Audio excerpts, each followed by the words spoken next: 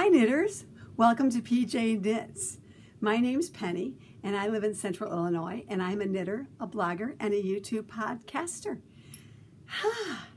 and today is Wednesday, July 6th, uh, 2022.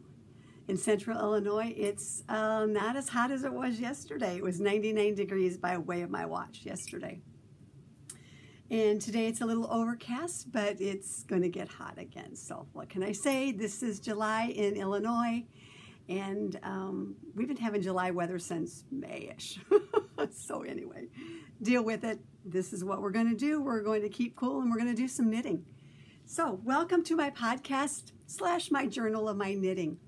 I am so ecstatic, thrilled, overwhelmed by the many new subscribers, the many views that we've been getting, and your wonderful, wonderful comments. Thank you so much. And you know, I was thinking about this this morning, and I think we're building a community here at PJ Knits because we're all over the United States. We're people who don't know each other. Um, we're in we're across the seas. We're and we have some in Australia, and we have some in um, Scotland, a couple, and Ireland, and far reaching for those who haven't said where they're from. And I am just so super thrilled to have um, all of you be a part of my journey. Thank you, thank you so very much. Um, I can't say that enough. So, uh, anyway, let's get started on some knitting, and uh, that's what you're here for. We're going to talk, first of all, we're going to start out with um, summer sweaters. I've got a couple that I want to talk to you about today and some that I have talked to you about before. Um, you've seen me knitting on this one for um, a couple of months. Um, my friend Peggy and I have been kind of doing a virtual, we were doing it virtually in May, knitting on this. And um, this is called The Lovely Tee. I talked about it before. It's by Kimberly, Kimberly McAlindin and here it is and you can see my little I use my paper pattern um, while I'm knitting. I use my journal for other notes and we'll talk about that either a little bit today and maybe in a future little episode but I make a lot of notes on my pattern um, as I'm as I'm knitting on um, my garments or whatever I'm knitting. I make them on here and then I transfer them over to my journal and so I just wanted to talk a little bit about this. The yarn is stitched together um, yarn. It is uh, finger weight. It is in the blue Christmas colorway of 2019. And I just, I love knitting on this sweater. I especially love the detail that Kimberly has put around the neck, which is something new, a slip stitch, and also, though, this puffed sleeve, which I just absolutely love. Um, in her pattern, she did a rib at the bottom, and I decided, along with Peggy, we decided to do um, the slip stitch there as well. So I have slip stitch here, slip stitch here, and at my hem. And I have also, again, lengthened my sleeves a little bit. And all of my notes are on uh, my Ravelry project page. And on my project page, my username on Ravelry is Penny J. So I, I try and list all of my modifications that I've done um, on my pattern, uh, on my garments, or my knitting on the Ravelry page. So you can find all that information there. I always lengthen it. I went up a little bit size on my, um, towards the hip on the knitting needle. And also I wanted to just give you a, a quick overview of what I have in my knitting journal. Um, I always do a start and an end date, and I'm using some new stickers that I'm getting, and I try to put my gauge of what the pattern's going to be and um, what gauge that I got and any kind of mods, what I what I casted, uh, what needle size I used to cast on, um, and tried to, and if there was any changes to the pattern that I made, I listen in my journal because I like to go back to my journal periodically and look at that. Um, and as I said, all the modifications I put into here as well. Um, I, I, I put the yarn um, um, what I did my swatch on as well. And then I always list a picture, I, am not a picture, um, a snippet of the yarn in my journal along with the uh, yarn band label as well with tells me what it is and um, its content, the colorway.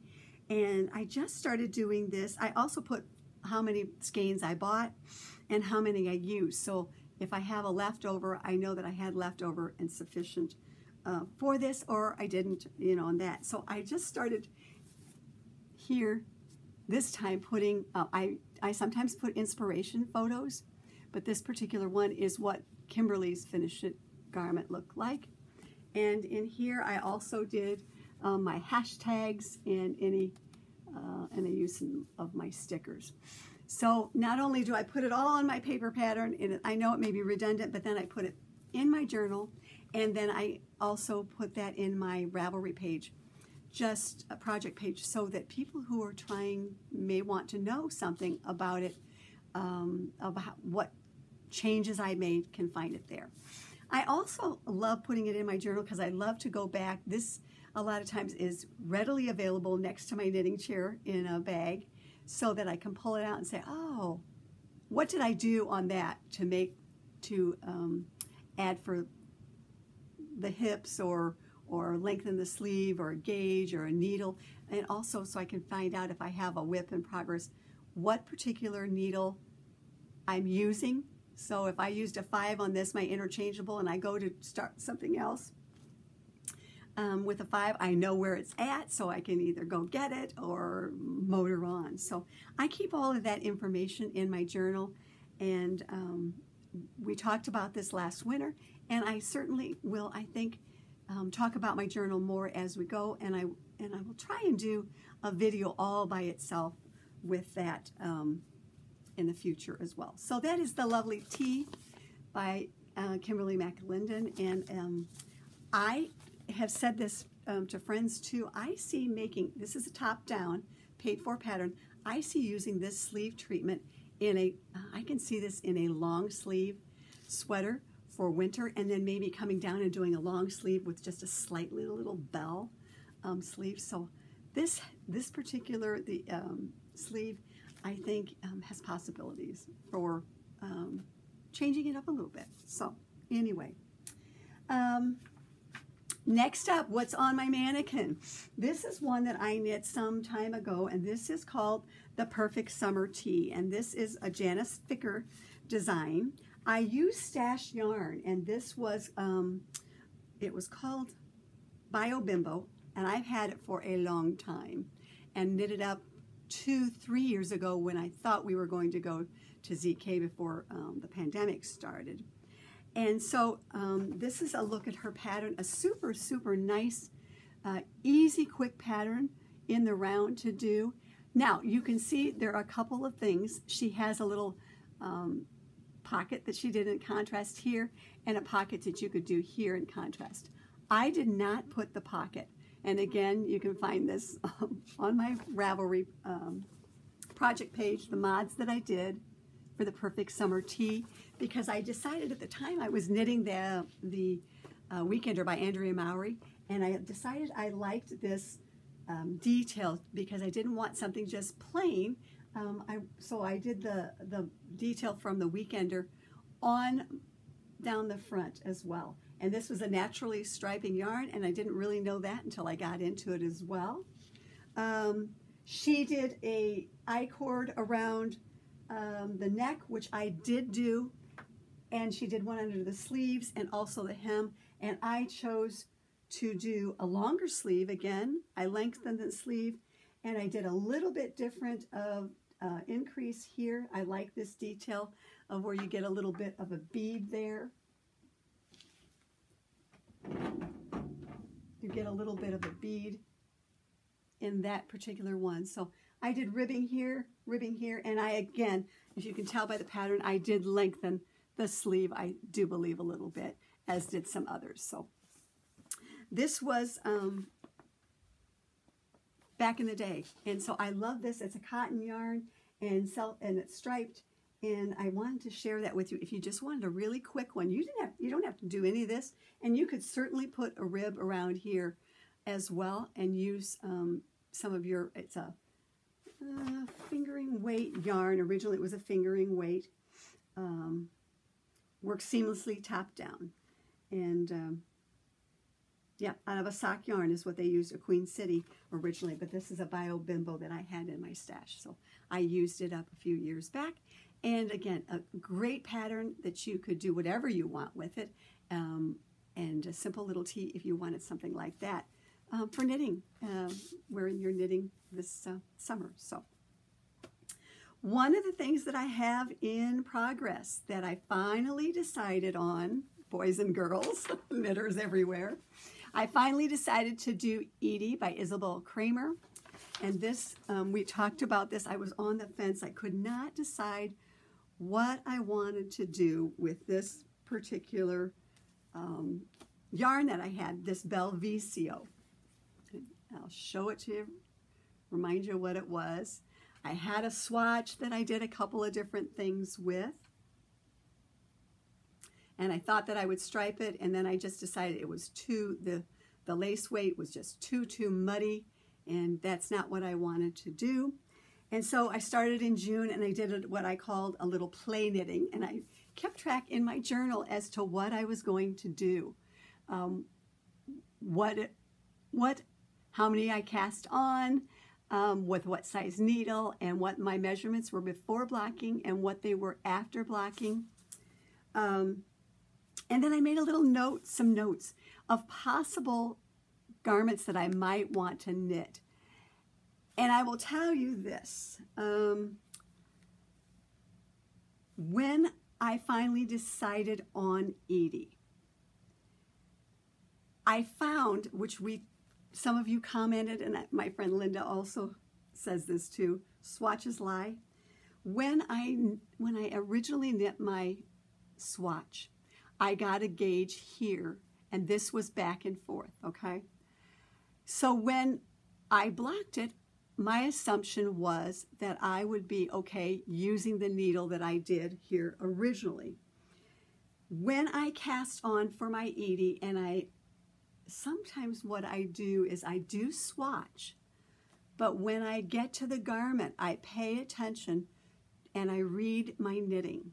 What, as I'm knitting the garment, getting not too far into it, what does that knitting tell me? Because this, I think, when I use these two yarns in here, and definitely doing a garter on the edge, this is just my deduction. When I did a garter edge in here, I also, after I blocked it, it's contained, right? It's contained by these stitches. Um, and there's fewer of them here. So when I cast on my Edie with my original needle here, I read the knitting and I looked at it down the road a little bit. Hadn't gotten very far and I'm like, this is too, too loose. So what I did is I ripped it out and I recast on. I started with um, a size 5 needle because that's what my, my gauge swatch told me. But after about um, eight rows into it, I felt that it was very, very loose. I read my knitting. My knitting said, this is too loose. And so I ripped it all back out and then I recast it on with a size 3 needle. And still reading my knitting, I like this so much better. Now for me, I will say also, that may change as I go down the body of the sweater because I have, I have narrow shoulders, shoulders that are kind of rounded. And so I don't need the broadness of perhaps um, of what I'm getting. So I generally do go down to start with, knit a little ways, read my knitting, and know that as I go towards the bust, I will probably have to increase my needle size back to my to a four. Usually when I go one, one step up, I don't get much of a change. So I anticipate that as I work down on the Edie sweater, that I will probably get back to my five. And definitely by the time I get to the hip, I will want to have that five there. So that's my thought process when I'm knitting um, a garment for me because, again, I read my knitting as I go because things do change on a swatch. And, and I believe that with that garter there, it was, and fewer stitches, it has less um, stretch than when I get all this, you know, 100 plus stitches, 200 stitches on there. It's it's worked across, right? There's more there's more stitches there. And so you really have to be cognizant, I believe, and read your knitting as you go along. So anyway, I have that in my in my journal. This is out of Belvisio yarn EY Select and it's color 07 Ophelia. And I just wanted to give you a kind of a hint of what I what I am doing. Uh, and I'm sure that you I'm sure that you all have had this happen. This particular pattern on Edie is worked back and forth, right? Until you get a significant ways down here and then you will join it in the round, okay? So we know that happens. But what happens on a lot of the patterns, especially the V-necks and this particular V-neck, when you're working back and forth, right? There's multiple things going on with the increases. There may be increases for the back and the front, and none for the sleeve. And then you work a, a, a, wrong side row, and then you come back and you do the next row, and it's on all the sleeves and there. And so it's kind of hard to keep um, track of those, right? Um, you know, you shut the TV off, you don't take it to knitting, you don't take it to Zoom. So what I decided to try, and this is an, uh, a thing, is I what I have done is I always put colored markers and I try to establish, you know, like this is the front, um, like the red, and then and kind of um, make distinguishing markers, different colors, so that I I can um, um, remember what they are. And if I can't remember what they are, what I have done on mine is on the back of my one of my pages, I have made page three increases, and I've done the multiple rows and I have rewritten them so that they line up with my markers so that I can watch a ball game on TV, maybe do this at knitting or on a Zoom night. And for example, this one I would do, um, you know, I would I follow the instructions and then I'll say knit to first stitch before yellow so that I'm knitting along. I can look at my paper and say, okay, I'm clear and I'm clearing to go until I hit the yellow marker. Knit to the first yellow marker, and then I have to do something.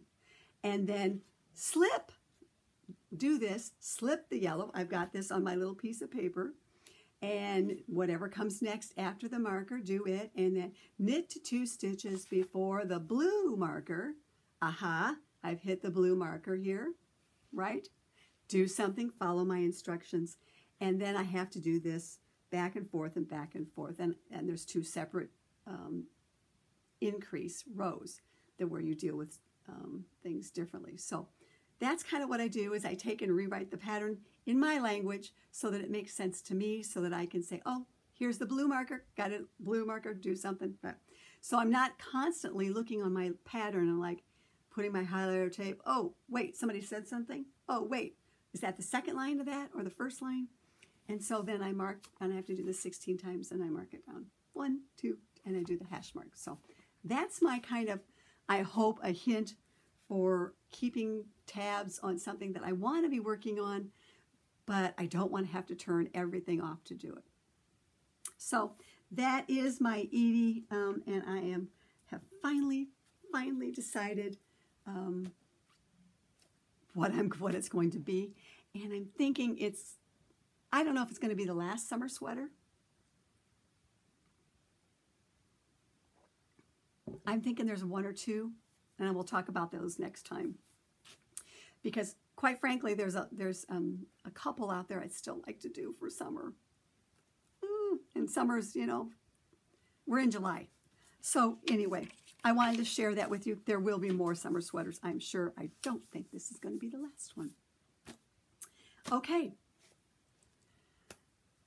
Have you got your cuppa with you? Bring out your cup and take a sip. If I didn't say this before, I know I didn't. I was going to tell you get a cup of coffee, take a break if you want, pause if you want. When we're going to get ready for shawls, grab your knitting and uh, let's all take a sip and uh, grab your knitting and we we'll, we're going to talk about some summer of shawls. Okay.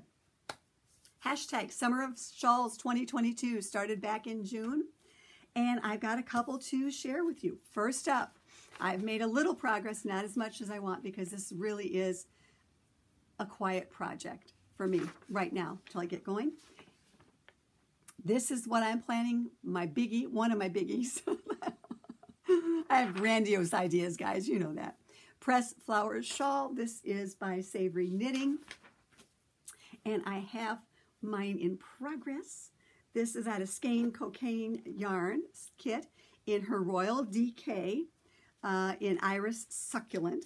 I love this. I had some stickers to put into my book. I just think this is so cool.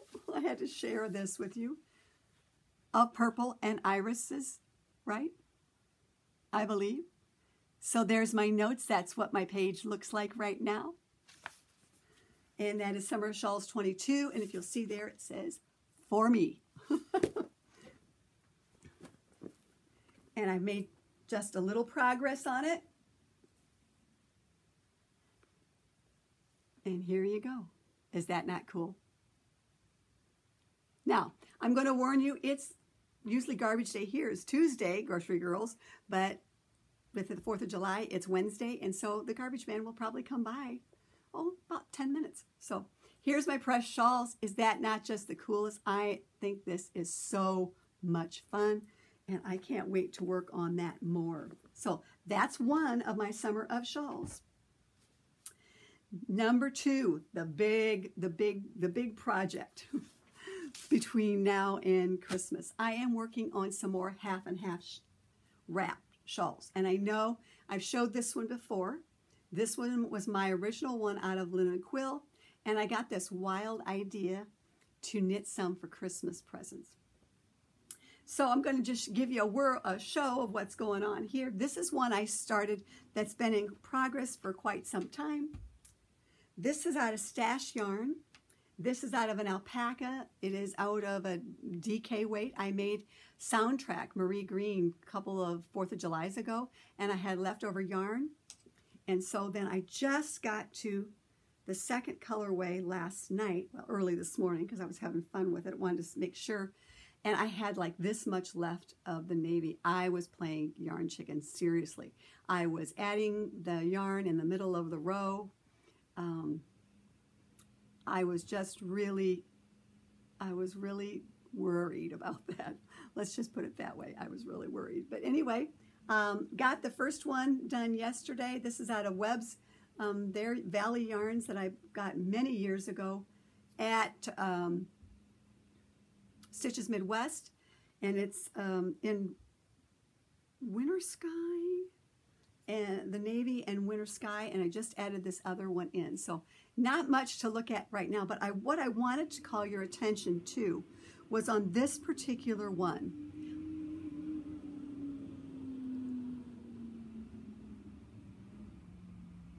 I am doing on the end of the row I am doing a three stitch I cord on it slipping the last three stitches. Um, I'm not loving it, but at this point in time, I've gone halfway. I'm motoring on because I think it's for a DK yarn.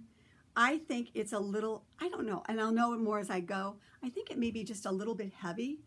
I don't know if it's going to take away from the look of the um, of the wrap when I'm done. Um, like I said, I'm not very far into it. This was about 3 o'clock in the morning last night. I can stay up late if I want now, guys.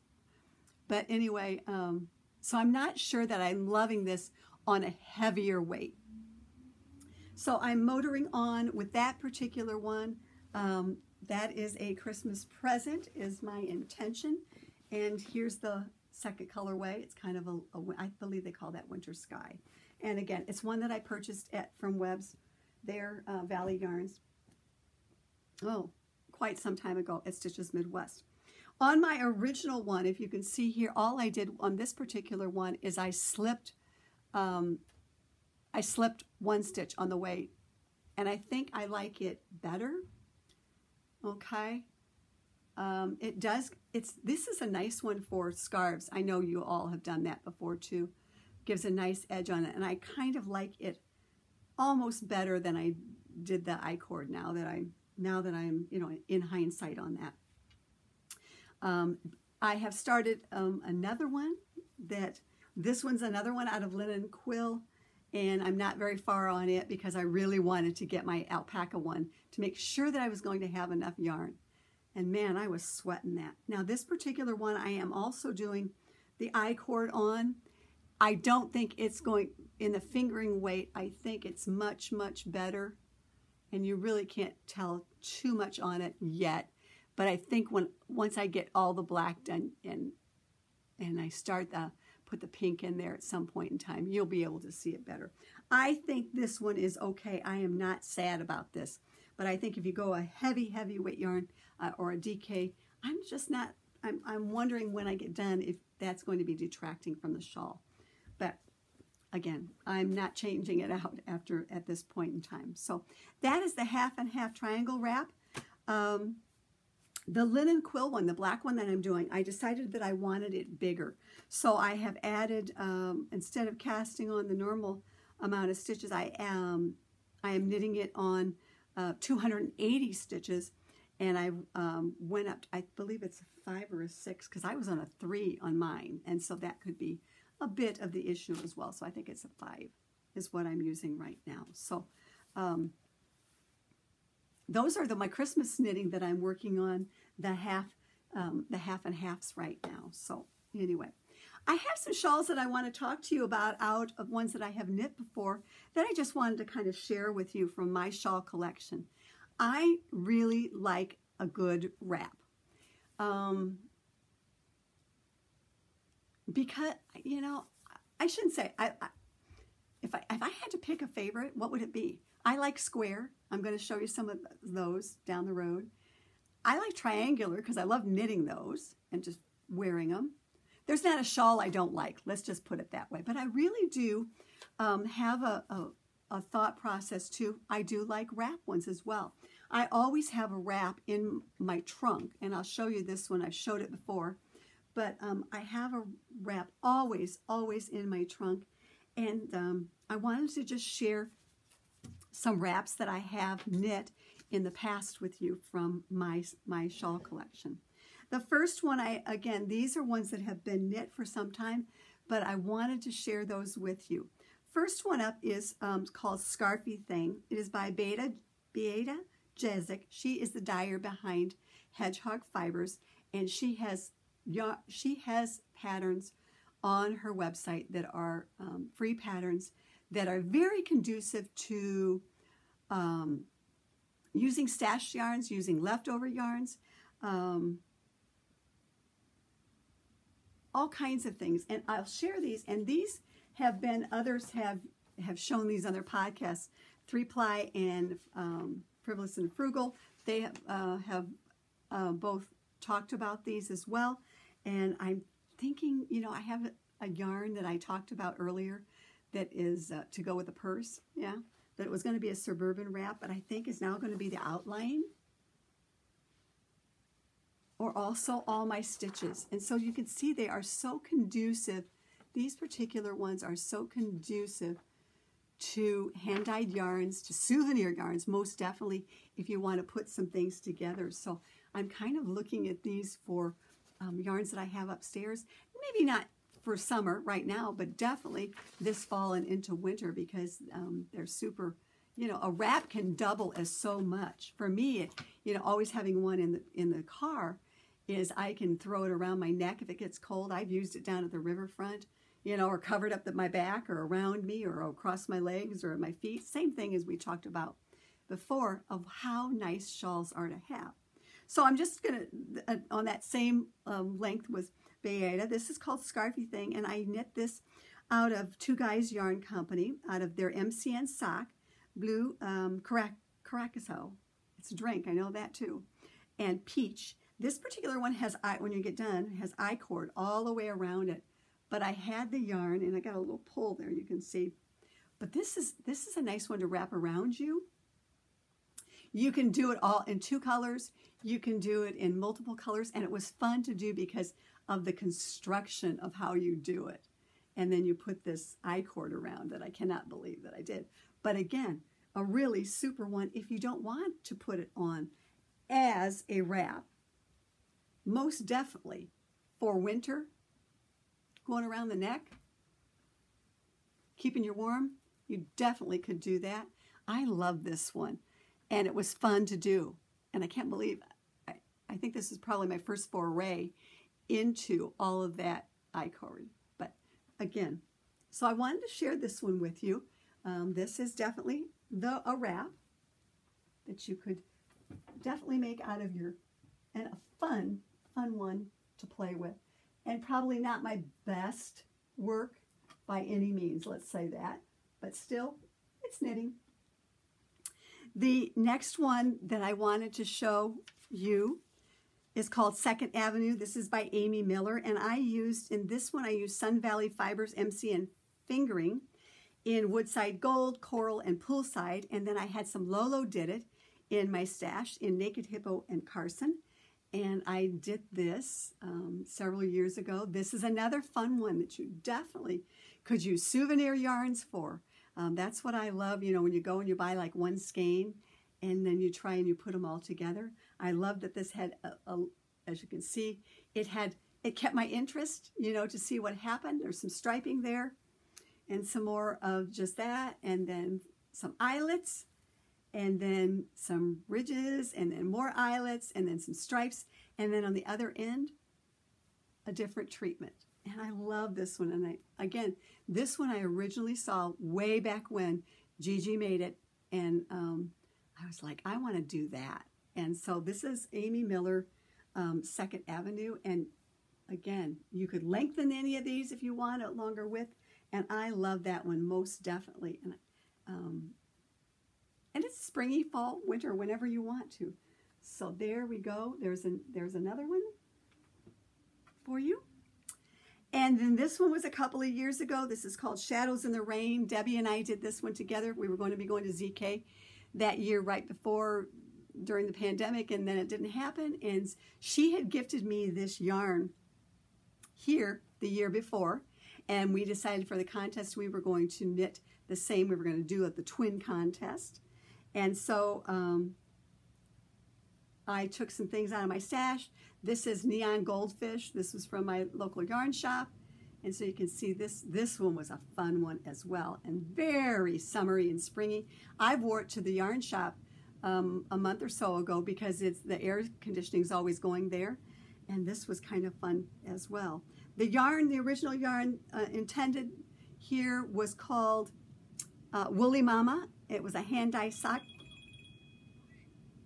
It was a hand-dyed sock um, in high-ho silver.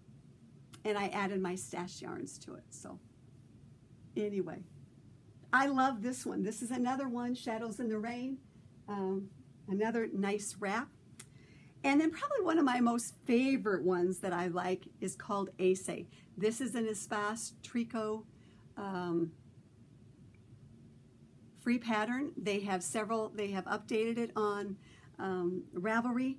I made my first one I made years ago for hospice out of what was called jelly beans. It was kind of a light worsted weight yarn. That was the first one I did for hospice um, out of this pattern. And then um, my second one I did um, last year, year before.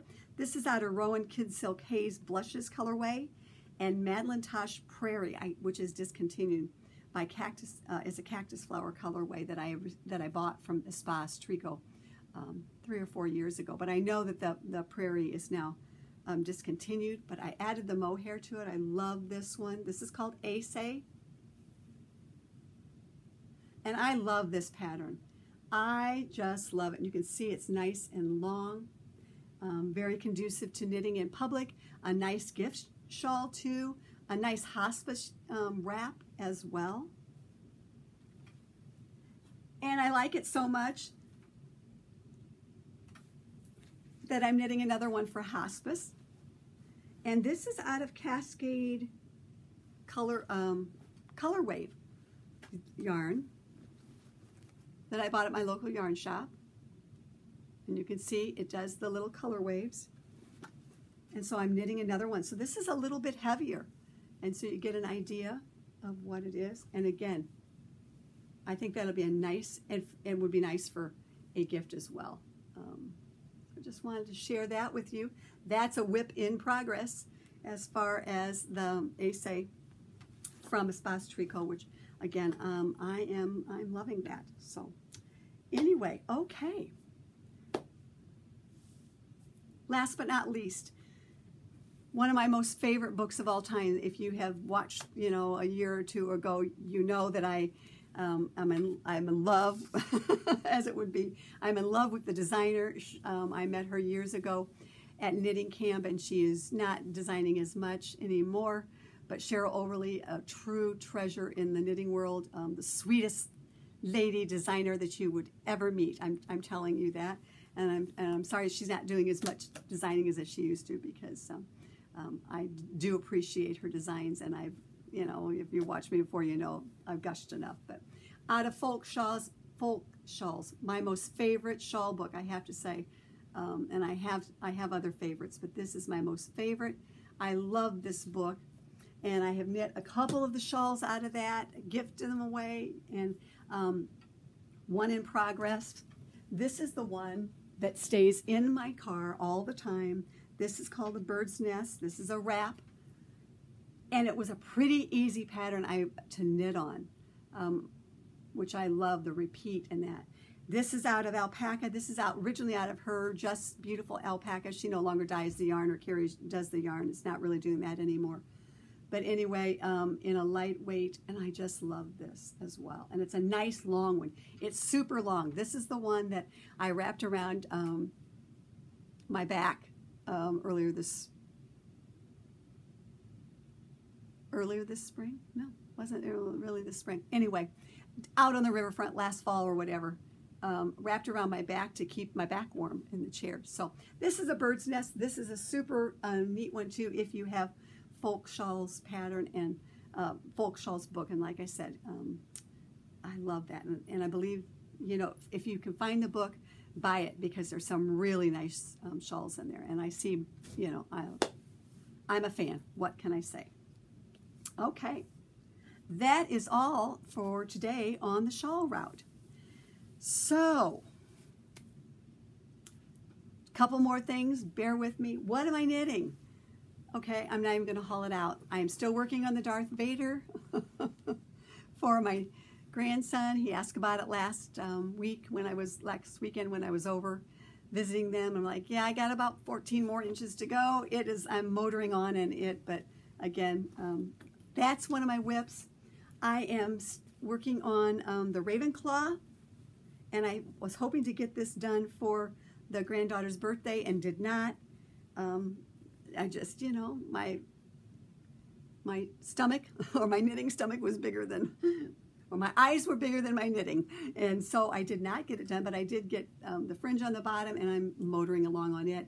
And so um, it's too hot to wear this anyway, but I'm working, um, I'm working on her scarf. This is great uh, Zoom and, and TV knitting, baseball knitting, and knitting in public. Um, so I'm working my way on that. Um, further along than it was before. So that's kind of what my knitting. Um, I um, I wanted to share a couple of books with you. A friend um a friend on Insta no a friend on Facebook posted these books, and I don't know anything about them. I don't know. Um, I don't know if they're good. I don't know if they're bad. But I what what I've been doing a lot, and I mentioned this before, is I'm using my public library. Okay. Um, when I see something online or on a YouTube podcast, um, I've been doing this since pandemic. Um, and they, my local library makes it so easy because you can go on their uh, login on the app and see if it's anywhere in the library system, and then I can request it, or if it's on their shelves, I can request it. They pull it off, put it on a hold shelf, put it with my name on. I go right to the hold shelf, come to my self checkout, I check it out, and off I go. They have made it so easy for me to check out books. And I'm doing that now instead of buying first. Used to be, oh, you recommended that book, I'm buying it. And then I get it and I'm like, oh, no, this isn't exactly what I had in mind, right? So anyway, I started using my library pre-buying and I and some books I bought because it's like, yes, I want this in my library, or like, no, I'm not going to. But specifically for reading books, um, I have, instead of buying every book that I want to read, I've been getting it from my library if possible. So, anyway, I don't know anything about these books, but I had to get them from my local library because, hence the title.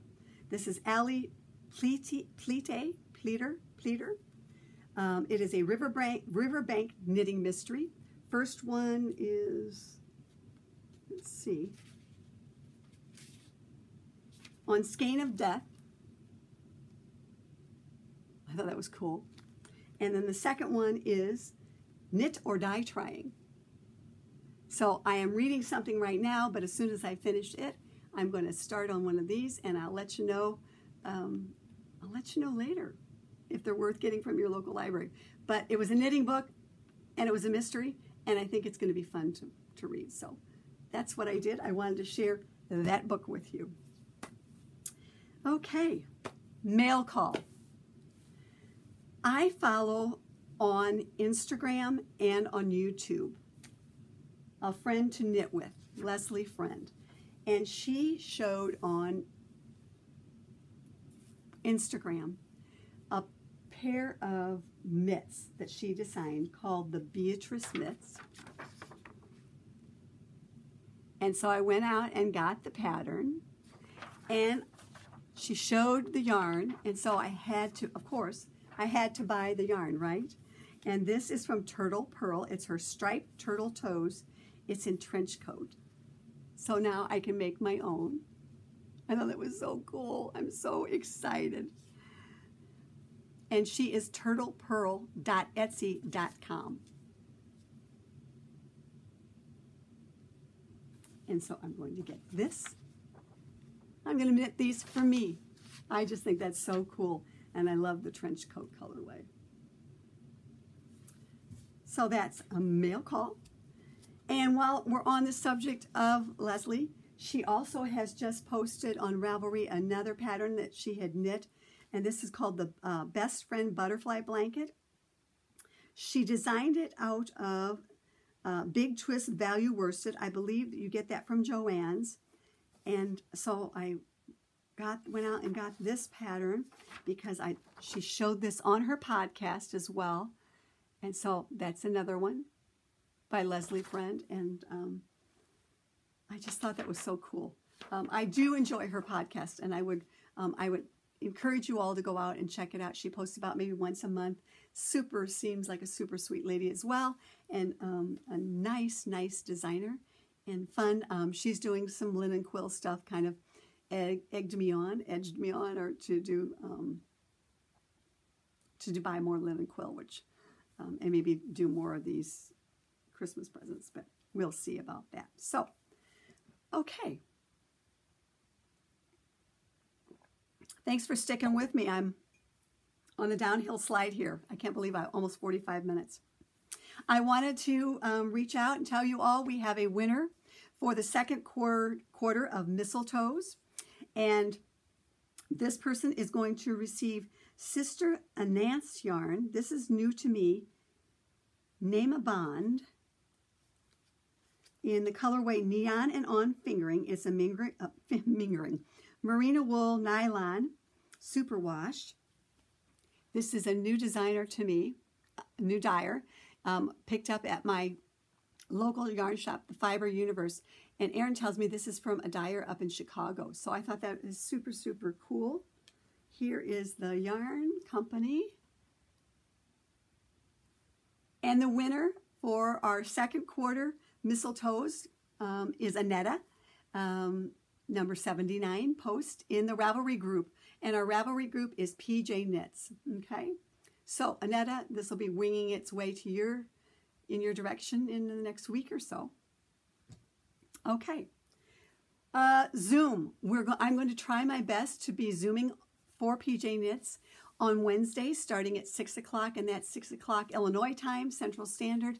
If for some reason something happens and you all you log on and you don't see me, you'll know that somebody's either at the house or um, there's been an issues. I'll try to I'll try to also post in the Ravelry group under Zoom Zoom. The login information and the password is there, um, and it should be a reoccurring meeting um, for Zoom. We'd love to have you come join us. We had four or five the last time, and we're slowly making um, friends, and we're building a community. I just, I just love that, and building friendships from um, across the, the the states and in in Canada, and out and about across the land, across the waters. And so we'd love to have you join us if it's uh, conducive to your time frame. Again, check the Zoom Zoom on uh, PJ Knits Ravelry group. If there's an issue at the last minute, I'll try to get on and say, hey, you know, somebody stopped by or there's some issue going on that I can't get on. But that's my plan is to do Wednesdays. I know it probably is spotty for a lot of people in the summertime. Um, so I I fully anticipate on that. If I get on and I'm on for 10, 15 minutes and nobody's showing, then I will just exit and we'll know. We'll try it again the following Wednesday. So next time I'll have more shawls for you that I'm going to talk about. I'm going to talk about some tanks that I've knit, just a couple, um, and what I do to wear over the tanks because I do not like to show my arms unless it's 110. Um, so we'll have that. Um, we'll talk about that. And then just finally, just to finish up here, um, I want to say this, um, and really it's in the in the way of um, sympathies and condolences out to uh, our friend Susan, who um, lost her bestie knitting friend just a couple of weeks ago, Kim. Kim went to knitting camp, Meg Swansen's knitting camp. That's where I met her and Susan and Sally, and we developed a friendship via knitting. Um, they were kind of our, our gals to go out to dinner with, and we sat in the back together. Um, Kim was an exquisite, a phenomenal knitter. She won awards at the Minnesota State Fair, and she did things that I would never think about doing. Um, and we lost her um, a couple of weeks ago to cancer, and um, ah, that was a blow as well. But my sympathies go out to Susan, of course, uh, to Kim's family, which I don't know and they don't watch here, but, um, and Susan, um, I just wanted to say that to her and to our knitting camp buddies um, out there that watch, you know, we, she will be missed very, very much, um, very much. And it's uh, sad. It's sad when that happens. So anyway, that's it. Um, until next time, I hope to see you on Zoom. Thank you again, new subscribers. If you don't subscribe, that's fine too. Thank you for watching. Thank you for your comments, reaching out, um, and your, for your friendship. I, I can't tell you um, how it, it brightens my, when I see on the email, oh, so-and-so has subscribed or has left a comment and telling me where you're from. And um, there are a couple places I just, oh, I am I'm so jealous of where you live, um, and I can only imagine. So thank you again for joining us. Until ne next time, knit on with confidence and hope through all crises. Thank you much. Bye.